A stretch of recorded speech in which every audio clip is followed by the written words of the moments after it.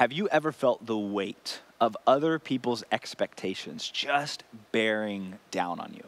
Maybe your parents expect you to be really well behaved and also make stellar grades in school. But you're feeling so overwhelmed that you're struggling to even make it through the day. Or maybe you've got a coach who is counting on you to be a leader for your team, but you're questioning whether or not you want to keep playing your sport altogether. Maybe you've got a friend who told you something in secret and they made you promise not to tell anybody else what they told you. But now you're really worried, based off of what they said, that something really terrible might happen to them. Maybe you're feeling the weight of a boyfriend or girlfriend who is trying to push things in your relationship further than you're ready to go. And you're not ready to go there, but you also don't want to tell them no because you don't want to disappoint them and you don't want them to leave you. Expectations can be a really heavy thing to carry when it's other people's expectations of us, and even when it's our own expectations of ourselves. For most of my life, I would tell you that my motto is if you ain't first, you're last. That is a quote from Ricky Bobby, the main character of the movie Talladega Nights. A kind of more modern version of that would be Luisa, the older jacked sister from Encanto, who says, If I can't be of service, then I must be worthless. Like that was how I viewed myself for years and years and years. That if I'm not perfect, I must be a failure. And that was a really unrealistic and really heavy expectation that I placed on myself. I felt like if I didn't measure up to my parents' standards, because the thing you need to know is my dad is one of those people who's like good at just about everything.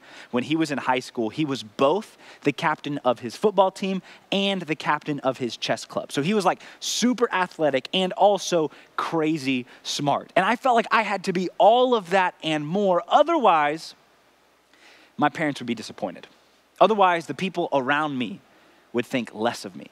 Otherwise, I wouldn't be able to see myself as a good person. And so I tried really hard to be good at the things that I did, and I ended up being mediocre at most of them, right? Like one of the things I was really good at back in the day was uh, Call of Duty 4 Modern Warfare and Call of Duty Modern Warfare 2. Not the remakes that have happened recently, but way back in the day, the originals. I was really good at those. I was pretty good at jujitsu. Um, I was pretty good at reading, like I loved to read in my free time, but none of those skills seemed to have the same level of approval from the people around me as the things that I wanted to be really good at. Like, I wanted to be the perfect kid for my parents. I wanted to be that all star student who tried really hard and got really good grades. I wanted to be a great athlete on my sports teams, but more often than not, I fell short of the expectations that I had on myself. And that was really exhausting. And maybe you find yourself in a similar place where you are being beaten down by expectations, by this weight that you don't think you can keep carrying. And just to be clear, it's a weight that you're not actually meant to carry. And this is why the gospel is such good news, because Jesus came to free us from the weight of unhealthy expectations. He came to invite us into a better way of life, a way of life defined by His love and grace for us, that sees us as we really are. In Matthew's gospel, in chapter 11, verses 28 through 30, Jesus says this He says, Are you tired? Are you worn out? Are you burned out on religion? Come to me. Get away with me, and you will recover your life. I will show you how to take a real rest.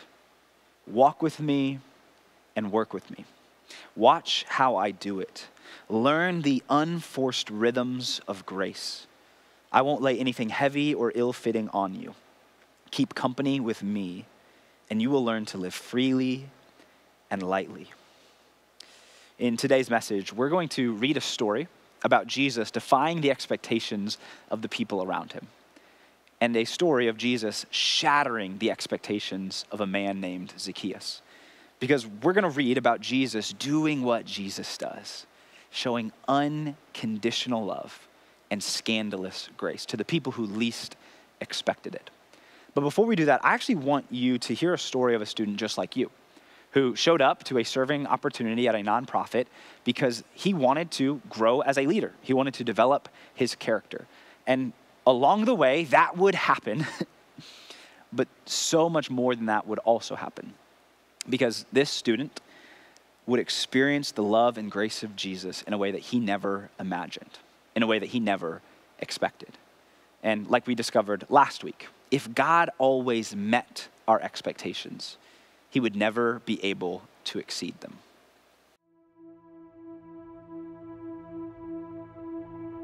My entire life, I grew up not knowing who God was or if a God did exist. I grew up atheist. When I got to middle school, it didn't get any better. I surrounded myself with people who also didn't believe in God.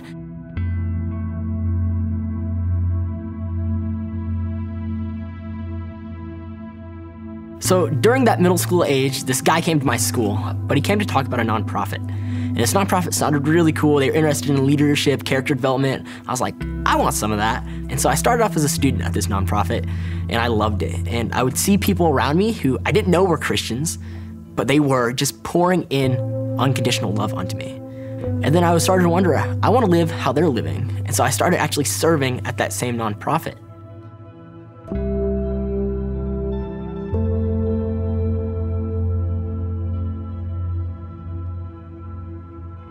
So after I had this miraculous encounter with God, I, I, knew I needed to start reading the Bible. And I didn't have a Bible at home. I didn't have any physical Bibles. So I went to the first place I knew I could, and that was the App Store. So I downloaded the Bible app. I started reading all the time. I fell in love with Scripture.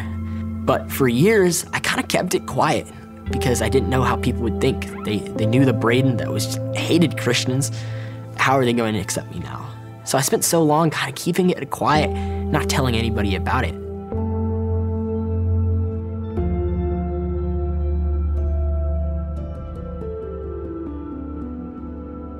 God uses unlikely people to do unlikely things. And I know that God truly wants to do incredible works through you.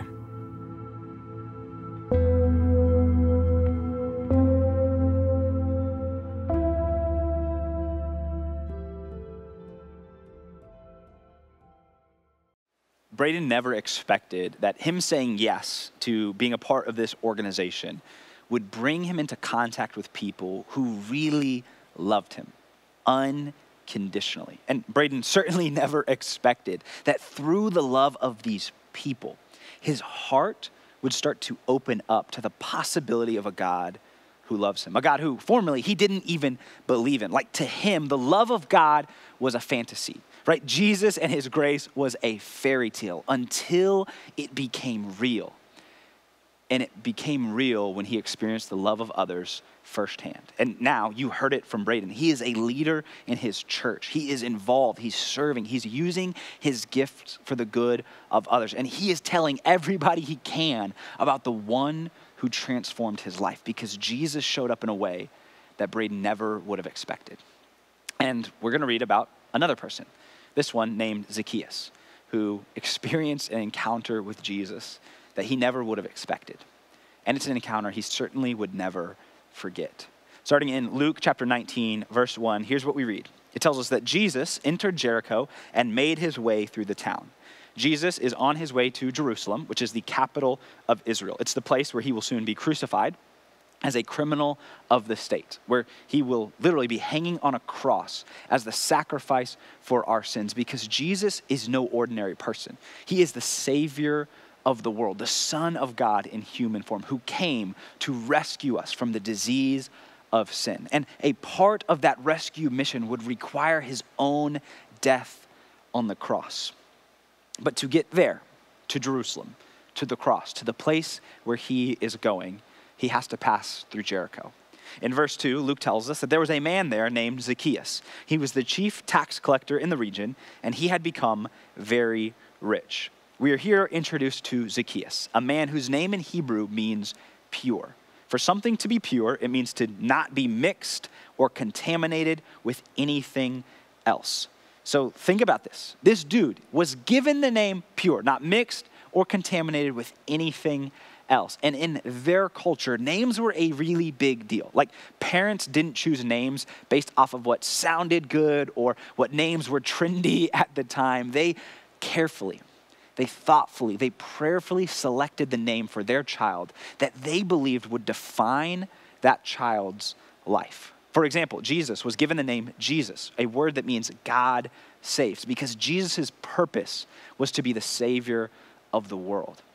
So imagine Zacchaeus' parents choosing to give this name to their son, pure, because their prayer, their vision for his life is that he would be somebody who is free from evil, free from sin, free from deceit, that he would be a picture of holiness and righteousness in the eyes of God and people. But instead, Zacchaeus grew up to be a tax collector. But not just any tax collector, he was the chief tax collector in the region. And as Luke tells us, he had become very rich.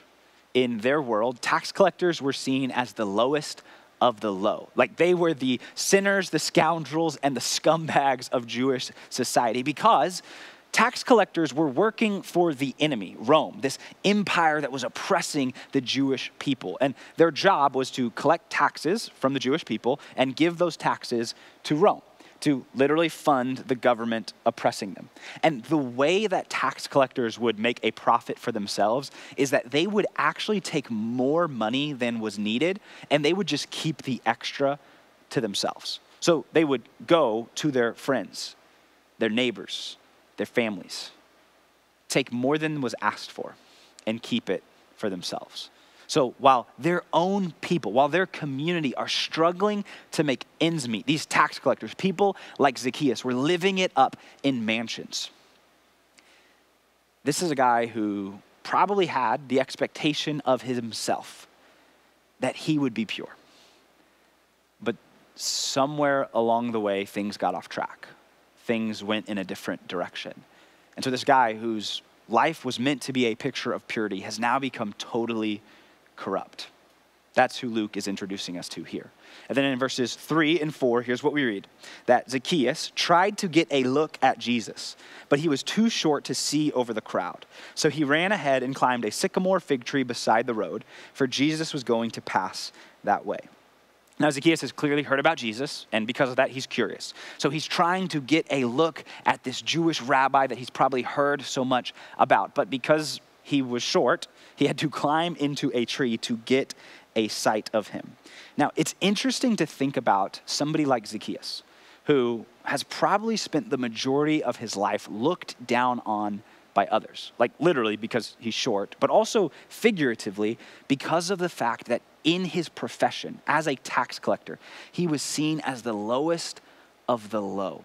And so the amount of judgment, the amount of condemnation, the amount of looking down upon that he had probably received by others, I don't even know if we can really measure it.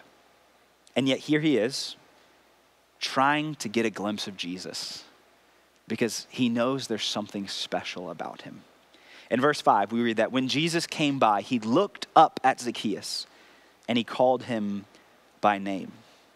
Jesus doesn't look down on Zacchaeus, he looks up at him. And he doesn't call him by his profession or by his sins, he calls him by name. And I need you to know that Jesus does the same thing for you. That you are not just another face in the crowd. You are not defined by your sins, by your mistakes, by the things that you've done or the things that you haven't done. Jesus sees you as you really are. You are loved by him. And if you're watching this message, I need you to know that here at Switch, you are not a face in the crowd, that you belong to the family of believers that God has established, that there is a place for you here, people who love you and want to bring the best out of you so that you can experience the life that God has for you. But maybe, like Zacchaeus, because of how the rest of your life has gone, hearing that is one thing, but believing it is another thing entirely. And so, Jesus calls out to Zacchaeus. He says, Zacchaeus, come down. I must be a guest in your home today. Now, can you imagine hearing that as Zacchaeus, this dude who climbed up in a tree to just get a glimpse of Jesus as he walks by? And all of a sudden, Jesus stops in this crowded city of people, all clamoring to see him, looks up at you and calls you out by name, and doesn't just look up at you, doesn't just call your name, but actually invites himself over to be a guest. like that all just happened for Zacchaeus. And I cannot imagine there was any part of him that ever thought that was going to happen. But it does. The sinless Son of God, the one who is totally holy and completely pure, calls out to Zacchaeus, the man whose name means pure, and says, Hey, I'm, I'm coming to your house today. So make sure you've got a spot ready for me. And then in verses 6 and 7, Luke tells us that Zacchaeus quickly climbed down. He took Jesus to his house in great excitement and joy. But the people, the people were displeased. He has gone to be the guest of a notorious sinner, they grumbled. You've got Zacchaeus, who's absolutely stoked because he has the privilege of hosting Jesus, the Messiah, in his own home. And then you've got all the other people, not as nearly as excited as Zacchaeus is, because they know who Zacchaeus is. They know that he is a notorious sinner. And they know who Jesus is a, a, a Bible teacher, a Messiah, the Holy One. And, and Jesus decided to go be a guest in his house. Yeah, that, that doesn't really make sense. And that's because grace doesn't make sense. Grace is scandalous because uh, it's a gift that we don't deserve and we cannot earn. That's what grace is a gift that we don't deserve and we cannot earn. So if grace doesn't unsettle you at least a little bit, then you probably don't understand grace because grace defies our expectations. And so think about the situation, right? This huge crowd of people, all of whom are likely way more deserving of Zacchaeus to spend time with Jesus. It's almost as if Jesus were to show up to your school. And as everybody is crowding around trying to get some time with him, he goes up to the biggest bully, the biggest gossip, the biggest snitch, the biggest whatever, and says to them, Hey, I'm gonna sit with you at lunch today, so save me a seat at your table. If you're like me, then you might be a little bit jealous. You might even complain or whine or gripe a little bit about it. And if that is how you would respond, then you, like me, would have fit right in with this crowd of people who were displeased, who were grumbling that Jesus went to be the guest of a sinner. Then we read this that meanwhile, Zacchaeus stood before the Lord and said, I will give half my wealth to the poor. And if I've cheated people on their taxes, I will give them back four times as much. Right? At this point, the only thing that we know Jesus has said to Zacchaeus is, Hey, Zacchaeus, yo, pure guy, I'm gonna come to your house today. Like that's all we know at this point. And here Zacchaeus is saying that he's going to undo the wrongs that he's committed, that he is going to make the wrong things right with the people that he has cheated. Why the sudden change? Why the radical transformation. Because when we experience the grace of Jesus, when we experience his unconditional love firsthand, it changes things. Because that kind of love doesn't leave us the same. And that's what Zacchaeus was experiencing here for the first time ever the unconditional love of God. God's love is unconditional. He loves you no matter what with no strings attached.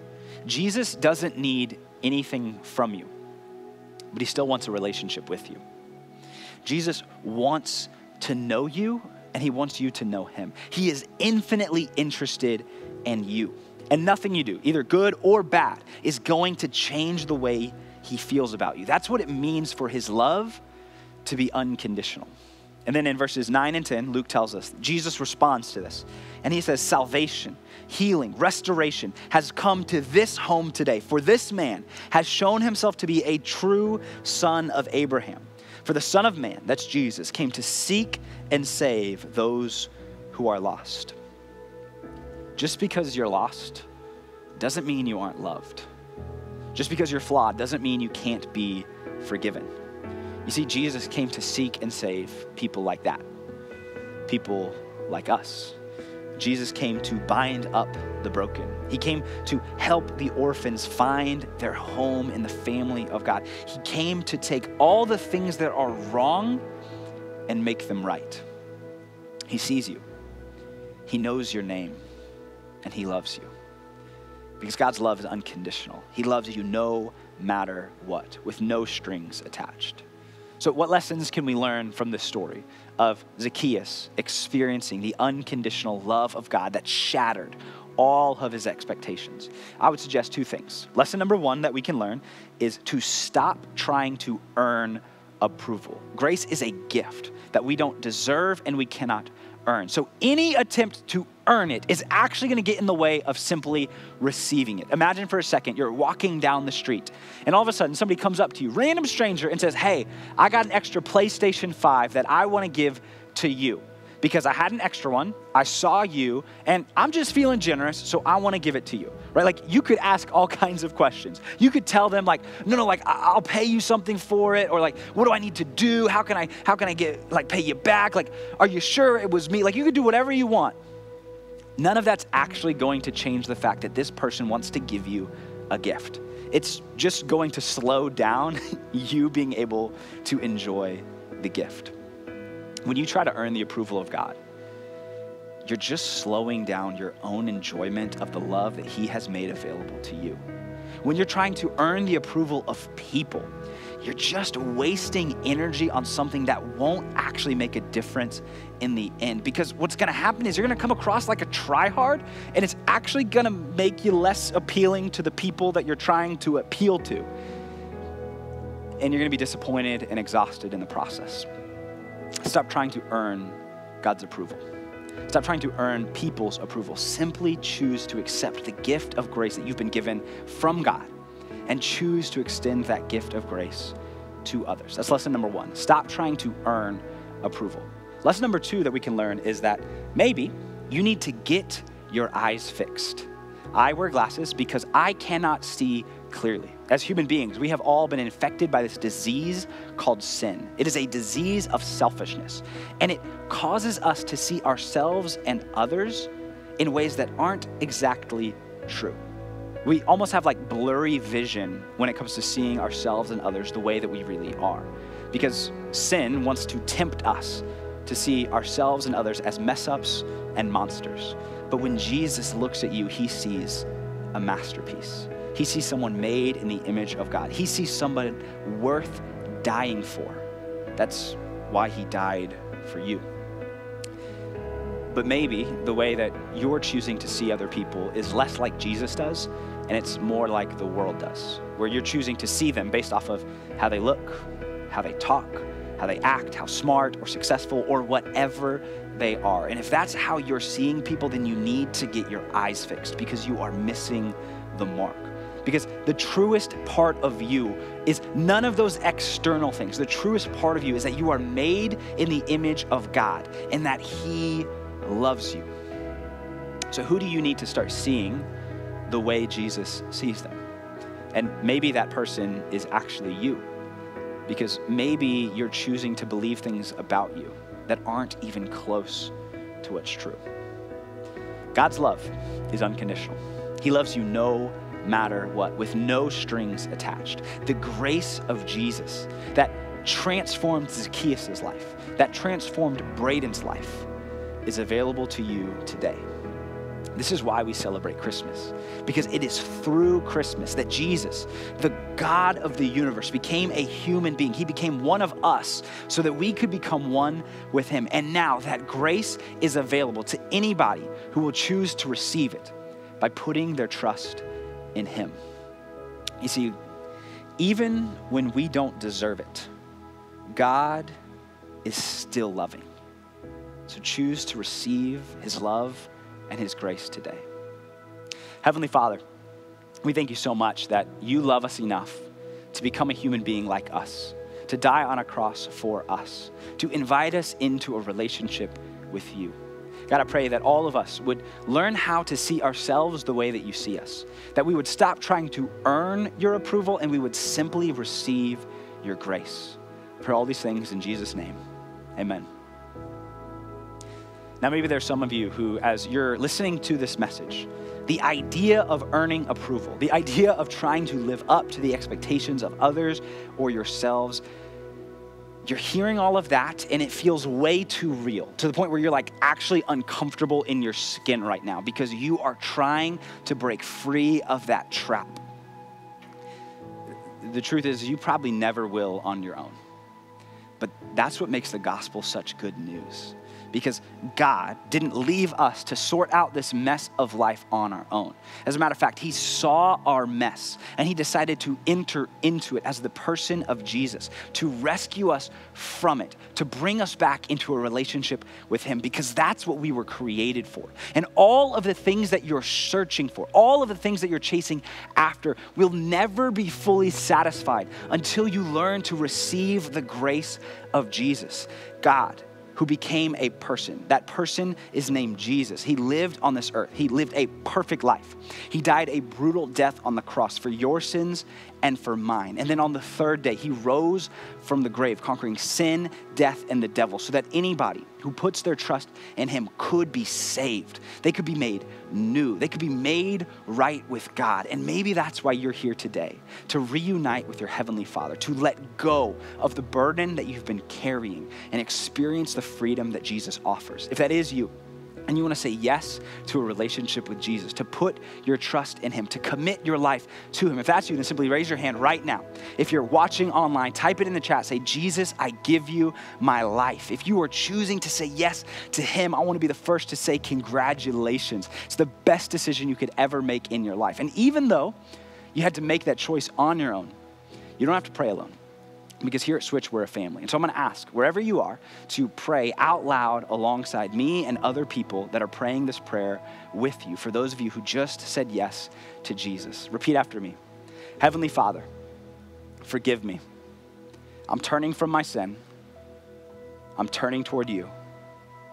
I need your love, I need your grace, I need your mercy. Today, I give you my life in Jesus' name.